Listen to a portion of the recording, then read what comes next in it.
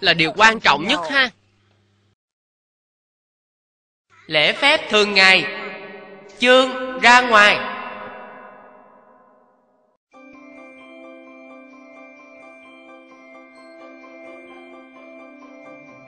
Ừ.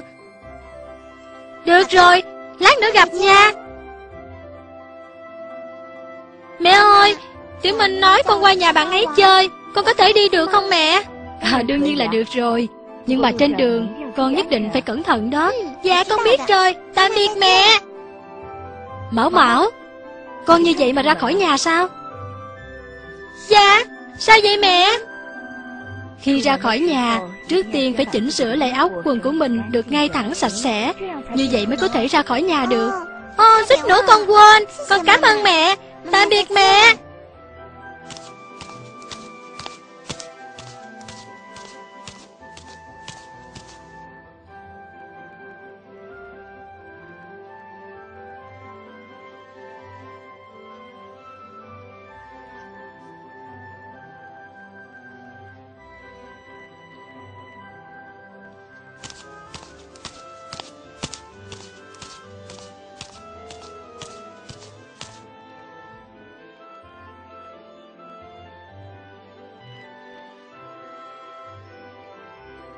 Thưa bà, con mời bà lên xe trước.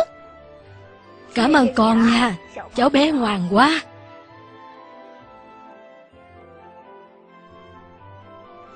Mời bà ngồi.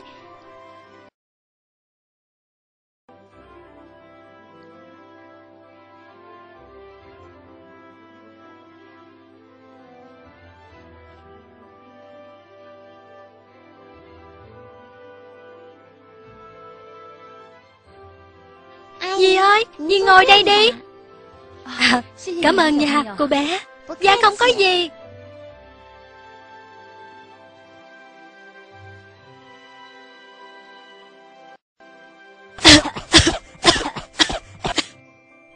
Chú ơi, chú tắt thuốc đi. Nơi công cộng không nên hút thuốc. Ta hút thuốc bắt mới gì tới ngồi Nơi công cộng không được phép hút thuốc mà. Rảnh quá hả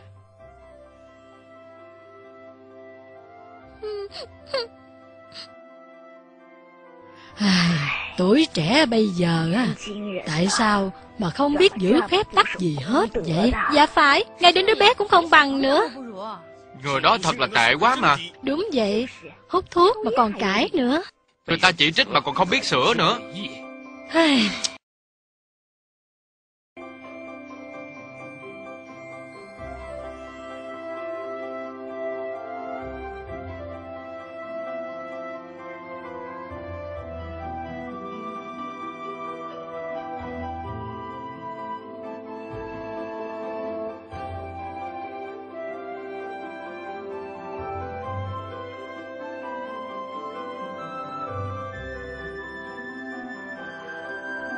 Dạ, chào ông.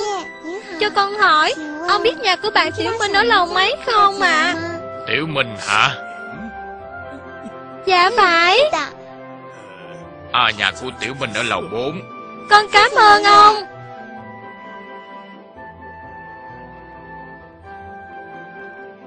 Này các bạn, hôm nay mình ra khỏi nhà, biểu hiện của mình như thế nào hả? Có lễ phép không? Ồ đúng rồi, suýt chút nữa quên rồi, không thể đứng ở giữa lối đi mà nói chuyện đâu nha. Còn nữa, buổi tối nếu không thể về nhà đúng giờ, đừng quên là phải nói với người nhà trước nha. Các bạn ơi, tạm biệt.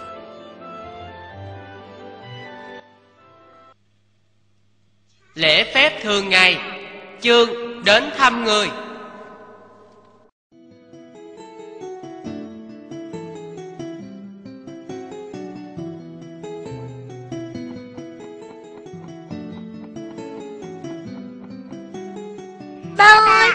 không phải ba nói chiều hôm nay muốn dẫn con đến nhà bác Trương sao? Bây giờ chúng ta đi nha.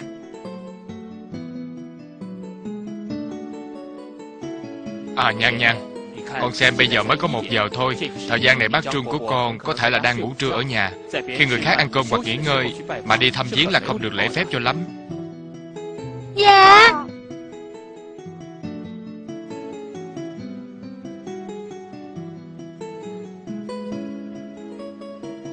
Nhan Nhan à Bây giờ chúng ta đến nhà bác Trương đi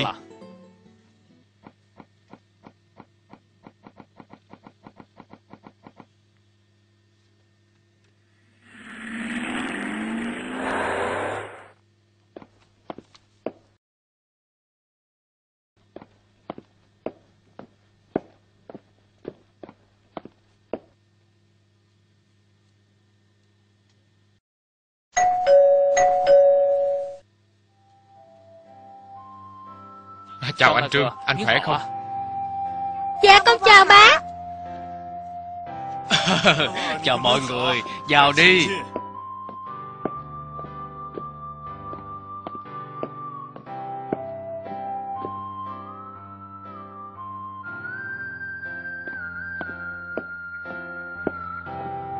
Hai vị này là đồng nghiệp của tôi Anh Kiếm và anh Tôn. Đây là bạn của tôi Anh Triệu và con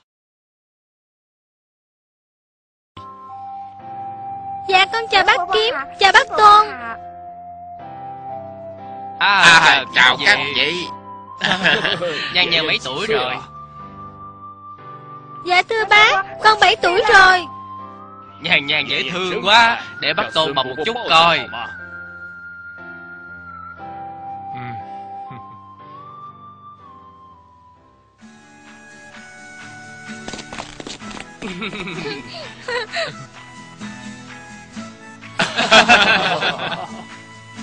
Mọi người cứ ngồi chơi Tôi sẽ đi pha trà. Không cần đâu Nãy giờ làm phiền anh quá trời Chúng tôi đi về đây. Bác Tôn bác Kiếm Tạm biệt. Tạm biệt Nhan Nhan nha Nhan Nhan. Bố ơi Vì sao hai bác đó thấy chúng ta đến? Thì đi về vậy. À đó là lễ tiết. Ngay khi con nhìn thấy chủ nhà có Ồ, Thì ra là vậy.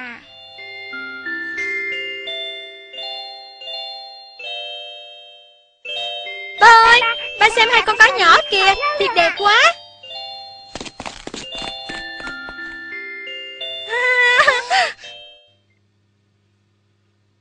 Nhan Nhan à. Sao vậy ba?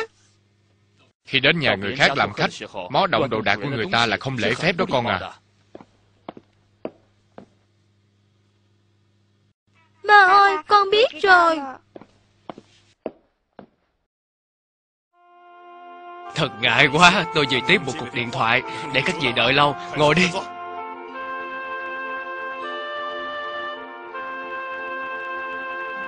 Anh Trương à Xin dừng bước. Tạm biệt bác Trương. Tạm biệt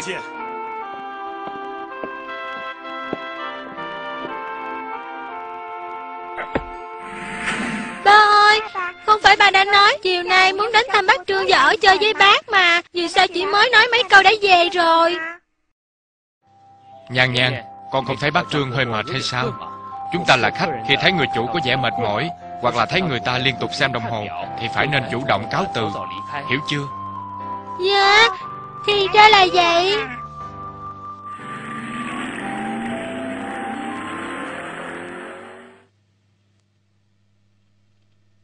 Lễ phép thường ngày Chương tiếp khách.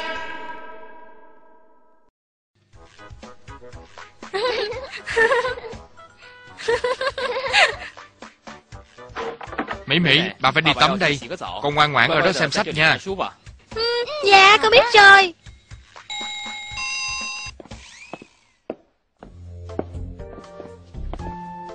Xin hỏi Ông tìm ai?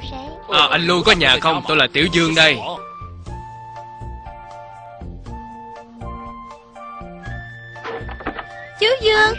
vào nhà.